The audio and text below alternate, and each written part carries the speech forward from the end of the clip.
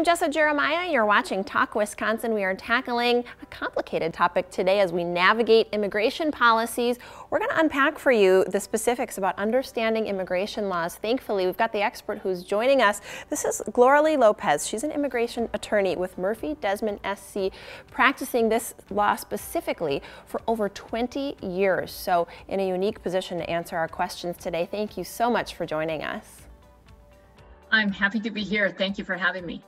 So we're going to unpack a, a, complex topic, and it is complicated to most people because there's a lot to know. Break it down for our viewers. Help us understand the basics, if you will, to kick us off of immigration law. Sure, I'd be happy to. Well, immigration law is the legal process of allowing individuals who are not citizens of the United States to be able to come to our country. It encompasses a wide range of situations involving foreign nationals to come into the US for temporary visits or with intent to live here permanently.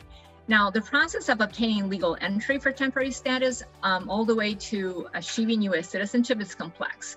There's several subsets of immigration law, which uh, generally include visas, non-immigrant visas, green cards, and the process of becoming a US citizen. And let's break down those three things a little bit more for our viewers here. So visas, green cards, and US citizenship, of course. Walk us through the differences. Well, a visa is a travel document that allows non-citizens to travel to the US. A visa is issued by a US consulate.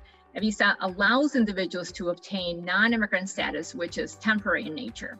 Now, individuals may come to the US on visas um, for many different reasons, to visit, to uh, work, to go to school, to conduct research, to invest in businesses, etc. Now, although some visas may lead to obtaining a green card, most people just return home.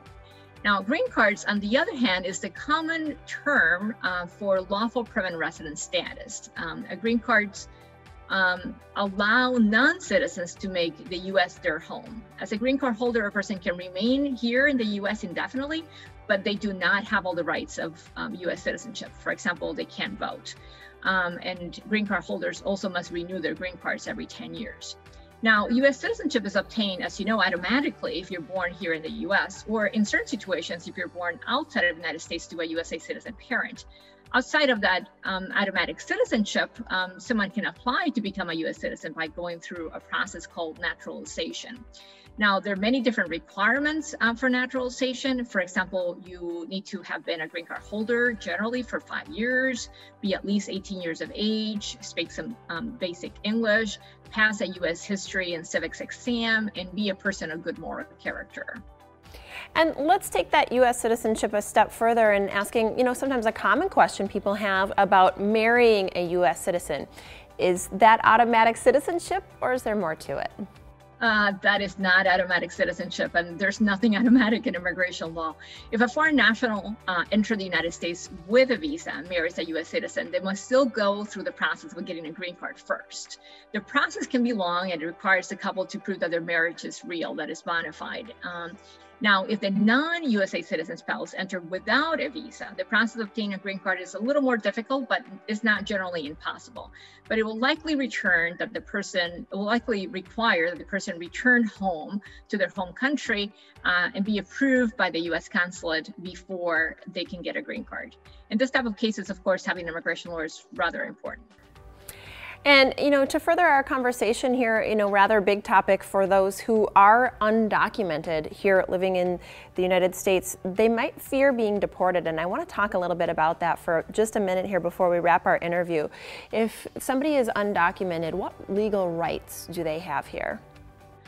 Well, those without lawful status in the U.S. should know that despite being undocumented, they have so, certain rights under the U.S. Constitution. These rights include the right to remain silent, to have an attorney advise them and defend them, to have the right to refuse a search without a judicial warrant, etc. Now, if an undocumented person is detained by ICE, um, Immigration Customs Enforcement, he or she may have the right to fight their deportation at immigration court. Another situation that we have seen over the years um, is when an undocumented spouse is being subject to abuse by their spouse. Um, there is a legal process that someone can self-petition to apply for a green card without having to re rely on their abusive spouse uh, to sponsor them. In a different type of instance, I'm sure many people have heard in the news about young adults um, and children who qualify for DACA, Deferred Action for Childhood Arrivals. And although DACA is not lawful status, it is not a green card, it provides that temporary security against deportation. Of course, there are many other different scenarios that require the help of an immigration lawyer to assist individuals to legalize their immigration status and obtain US citizenship. And having an experienced immigration lawyer uh, is critically important in this, in this type of cases. Absolutely. And talking about experience, again, you've been practicing immigration law exclusively since 2001. So I want to encourage uh, individuals or Wisconsin families to reach out if you do have any questions. Again, a lot of complexities to unpack there. Gloria Lopez with Murphy Desmond SC. Thanks so much for joining us today.